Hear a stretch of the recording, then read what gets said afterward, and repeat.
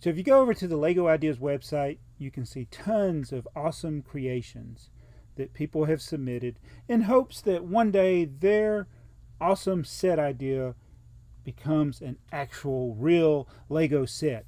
I love that Lego does this. It's been really good. They've done it in other fashions. You know, it was Lego Cuusoo before it was Lego Ideas. Before that, they had Lego Factory. They had the My Own Train series.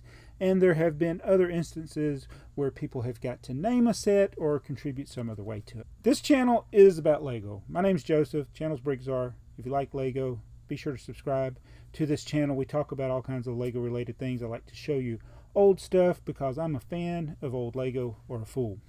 And one of the things in researching things for this channel, I do come across weird and unusual items, which I like. Now, it is well known that there are some Lego sets that were designed by actual Lego designers that never made it into production. And that is what we're going to talk about in this video. We're going to talk about some of the top sets that were actually designed, actually had a set number, some even had boxes, some may actually have been produced but never sold to the public. These are unreleased items. And there's a couple of different resources that I use to pick these up. One is the Brickset inventory. There's many, many, many sets listed on Brickset. And also on Bricklink, there is a section there for unreleased items. So we're going to go through some of them. I picked out some of my favorites.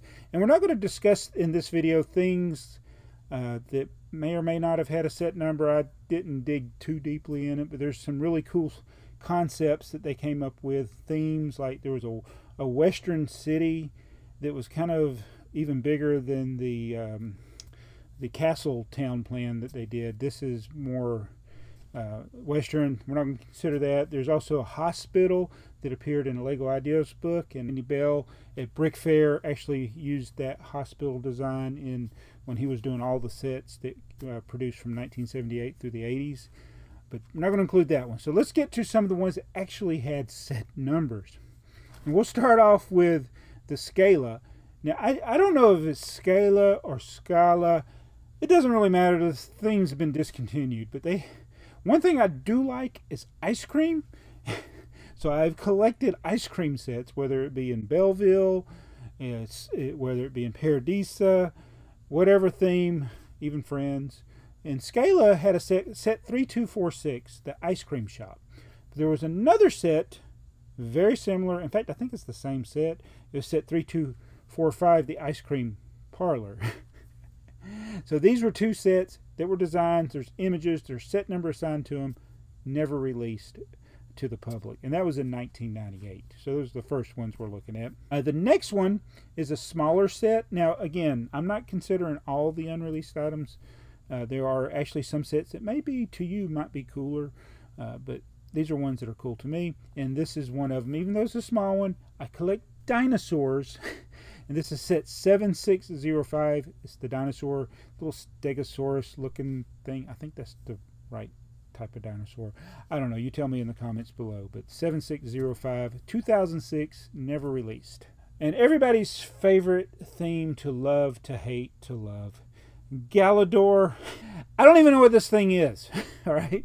It's set 8322 Mokarr. M O K A R R.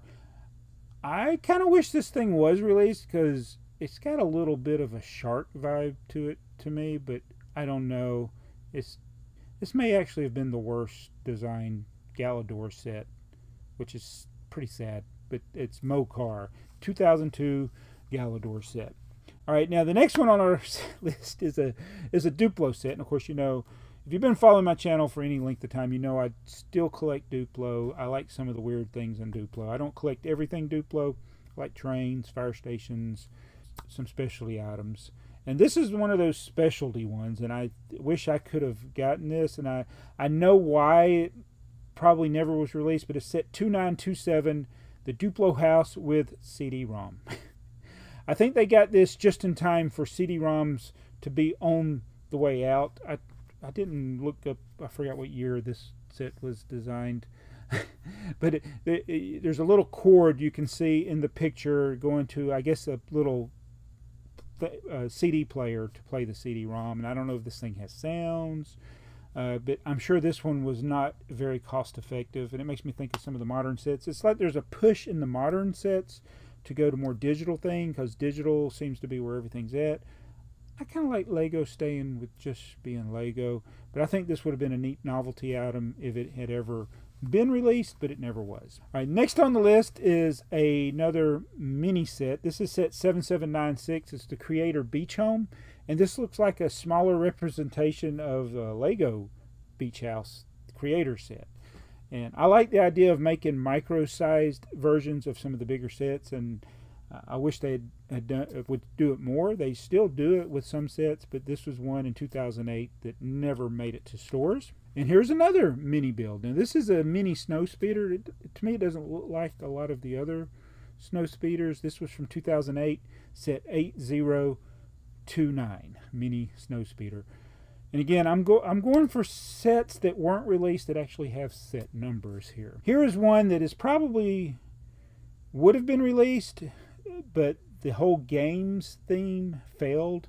It I just don't think people want to play board games with Lego pieces. I think it was a, in concept it was a good idea, but all of the Lego games in this style here, where you had to build the game and play it, they just failed.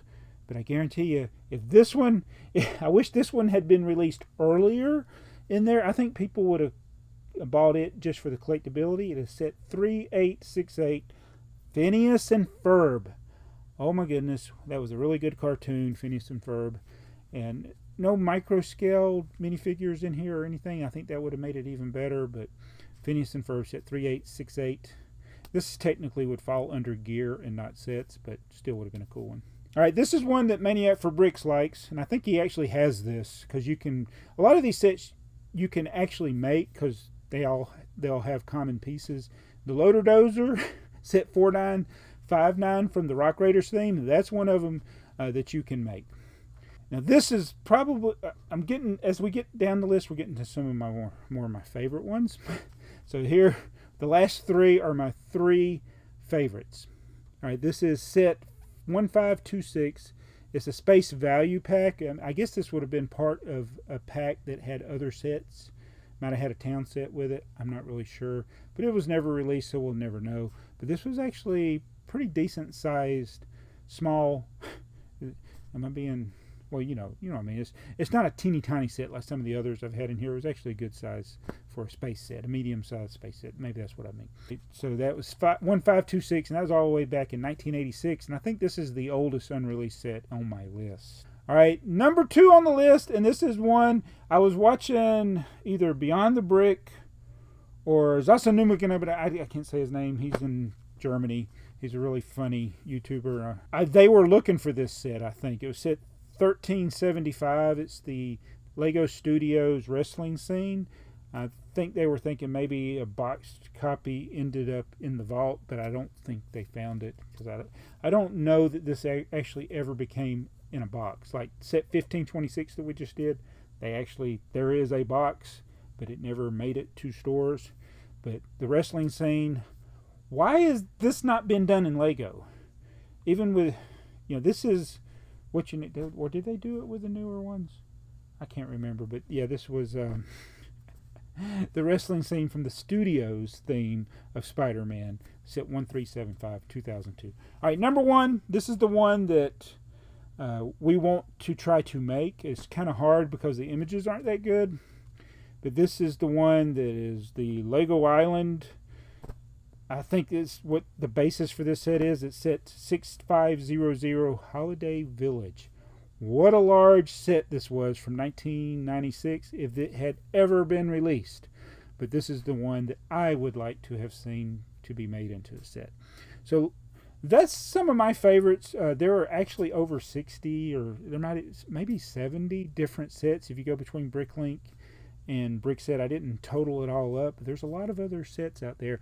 And then there's even some that are not on this list uh, that were in concept art and didn't have a number or even pictures of these things. So let me know what you think about my list and are there other things that you know about that weren't released that you would have liked to have seen to be made into a set. So that is my list of my favorite never released Lego sets. See you in the next video. Be sure to hit the subscribe button. That helps me out a lot. I'm going to go.